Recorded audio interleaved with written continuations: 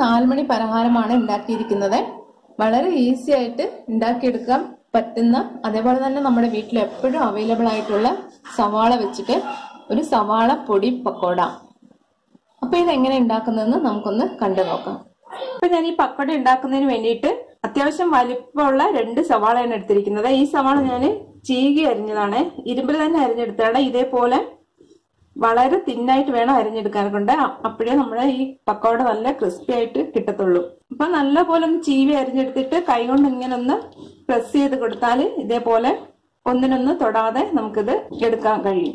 അപ്പൊ ആദ്യം നമുക്കിതിലേക്ക് ഞാൻ ഒരു പച്ചമുളകാണ് എടുത്തിരിക്കുന്നത്. എരിവ് നിങ്ങളുടെ ഇഷ്ടത്തിന് എടുക്കാം. ഈ ഒരു പച്ചമുളക് ഇതിലേക്ക് ഇട്ട് കൊടുക്കുക ഇതേപോലെ വട്ടത്തിൽ ചെറുതായിട്ട് അരിഞ്ഞ പച്ചമുളകാണ് അത് ഇതിലേക്ക് ഇട്ട് കൊടുക്കാം. ചെറുതായിട്ട് അരിഞ്ഞ മല്ലിയില ഇട്ട് കൊടുക്കാം. ഇത് വളരെ കുറച്ച് മതി. മല്ലിയിലയുടെ ടേസ്റ്റ് ഇഷ്ടം അല്ലെങ്കിൽ ഇത് ഒഴിവാക്കാം. ഇനി ഇതിലേക്ക് ഇത് പെരിഞ്ജീരകമാണ് ഒരു ഒരു ടീസ്പൂൺ പെരിഞ്ജീരകം ഇതിലേക്ക് ഇട്ട് കൊടുക്കാം. ഇനി ഒരു അര ടീസ്പൂൺ കായം കായത്തിന്റെ പൊടി ഇട്ട് കൊടുക്കാം. ഇനി ഒരു അര ടീസ്പൂൺ മുളക് പൊടി ഇട്ട് കൊടുക്കാം. എരിവ് കൂടണ്ട.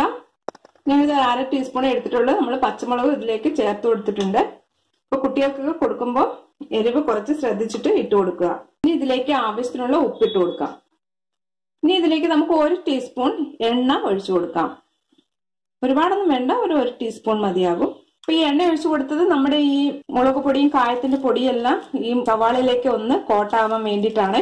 ഇത് നല്ലതുപോലെ നമുക്ക് ഇതേപോലെ ഒന്ന് ഇളക്കിയെടുക്കാം. അപ്പൊ ഇത് നന്നായിട്ട് ഞാൻ മിക്സ് ചെയ്ത് വെച്ചിട്ടുണ്ട്. ഇതിലേക്ക് നമുക്കൊരു അര കപ്പ് കടലമാവ് ഇട്ട് കൊടുക്കാം.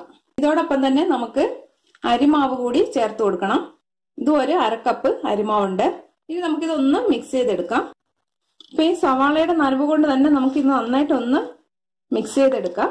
ഇപ്പൊ ഈ അരിപ്പൊടിയും കടലമാവൊക്കെ ഇടുന്നതിന് പകരം നിങ്ങളുടെ കയ്യിൽ ബജ്ജിമാവ് ഉണ്ടെങ്കിൽ അത് മാത്രം ഇതിലേക്ക് ചേർത്ത് കൊടുത്ത് മിക്സ് ചെയ്തെടുത്താലും നന്നായിട്ടുണ്ടാവും.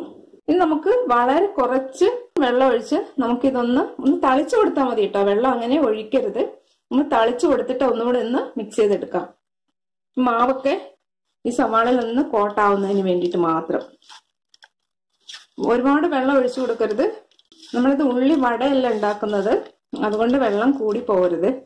അപ്പൊ ഉപ്പുണ്ടോന്നൊന്ന് നോക്കുക. ഇല്ലെങ്കിൽ കുറച്ചൊരു ഉപ്പ് കൂടി ഇട്ട് കൊടുത്ത് ഒന്നുകൂടി നീ ഇളക്കി വയ്ക്കുക അപ്പൊ മാവെല്ലാം നന്നായിട്ട് സവാളയിൽ മിക്സായി വന്നിട്ടുണ്ട്. ഇനി നമുക്കിത് എണ്ണ ചൂടാക്കി അതിലേക്ക് ഇട്ട് വറുത്ത് പോരാം ഇപ്പം കടായി നല്ല ചൂടായിട്ടുണ്ട്. ഇതിലേക്ക് നമുക്ക് വറുക്കാൻ ആവശ്യത്തിനുള്ള എണ്ണ ഒഴിച്ചു കൊടുക്കാം. അപ്പൊ എണ്ണ നല്ല ചൂടായിട്ടുണ്ട്. ഇനി നമുക്ക് ഈ മിക്സ് ഇതിലേക്ക് ഇട്ട് വറുത്ത് പോരാം അത് ഇടുമ്പോൾ വളരെ കുറച്ച് മാത്രം ഇങ്ങനെ ഇങ്ങനെ കുറച്ച് മാത്രമേ ഇട്ട് കൊടുക്കാൻ പാടുള്ളൂ.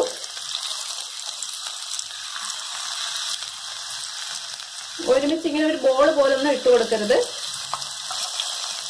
ഇതേപോലെ കുറേശ്ശെ ഇട്ട് നമുക്കിതൊന്ന് വറുത്ത് കോരി എടുക്കാം. അതേപോലെ തന്നെ ഫ്ലെയിം മീഡിയം ടു ലോ ഫ്ലെയിമിൽ വെച്ചിട്ട് വേണം വറുത്തെടുക്കാൻ കൊണ്ട്. ഇത് പെട്ടെന്ന് തന്നെ മൊരിഞ്ഞ് കിട്ടും. ഉള്ളി കരിഞ്ഞു പോകാതെ നോക്കണം. നമുക്കൊന്ന് ഇളക്കിയെടുക്കാം. അപ്പം നമ്മളുടെ പക്കോട നല്ല മൂത്ത് വന്നിട്ടുണ്ട്. ഇത് ഈ ഒരു ഒരു ഗോൾഡൻ ബ്രൗൺ കളർ ആവുന്നതിന് വരേക്കും. ഇങ്ങനെ മൂപ്പിച്ചാൽ മതി. ഇത് നമുക്ക് എണ്ണയിൽ നിന്ന് മാറ്റാം. ഇപ്പൊ നമ്മളുടെ സവാള പൊടി പക്കോട റെഡി ആയിട്ടുണ്ട്. വളരെ ഈസിയാണ് ഉണ്ടാക്കിയെടുക്കാൻ കൊണ്ട്. അതേപോലെ തന്നെ നല്ല ടേസ്റ്റിയുമാണ് അപ്പോൾ ഇടയ്ക്കൊക്കെ ഇതൊന്ന് ട്രൈ ചെയ്ത് നോക്കുക. വീഡിയോ ഇഷ്ടമായി ലൈക്ക് ചെയ്യുക സബ്സ്ക്രൈബ് ചെയ്യുക ഷെയർ ചെയ്യുക. പിന്നെ നിങ്ങളുടെ അഭിപ്രായങ്ങൾ കമന്റ് ബോക്സിൽ അറിയിക്കുക. താങ്ക്